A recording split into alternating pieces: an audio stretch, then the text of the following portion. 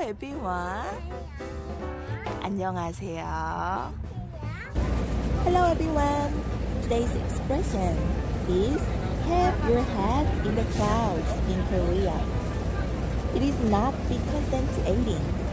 How to say have your head in the clouds in Korean is um, 뜬구름을 잡다, 엉뚱한 생각을 하다.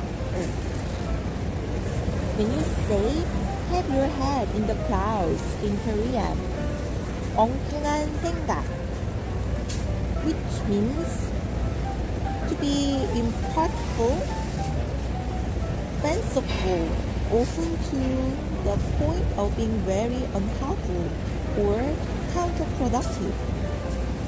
Today's expression, have your head in the clouds. 엉뚱한 생각이었습니다. 그럼 다음에 또 만나요. 안녕. 빠빠이. 호피 인정. 전화. 빠빠이. 아, 빠빠이. 와서 오케이.